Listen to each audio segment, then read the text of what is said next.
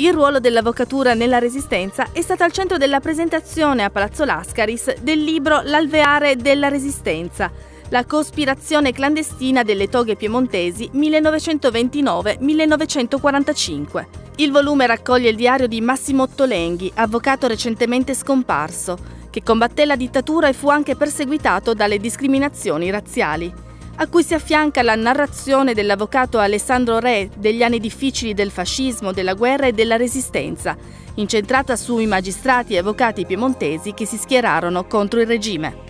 Dunque questo libro è nato da un'idea dell'avvocato Tolenghi di rendere omaggio al foro torinese e quindi avvocati, magistrati, cancellieri, in quanto lui aveva un debito di riconoscenza verso chi in qualche modo aveva contribuito a salvarlo dalle persecuzioni razziali.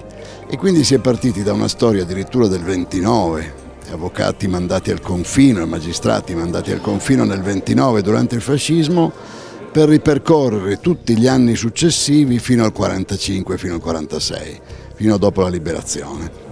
Questo è stato il motore dell'iniziativa.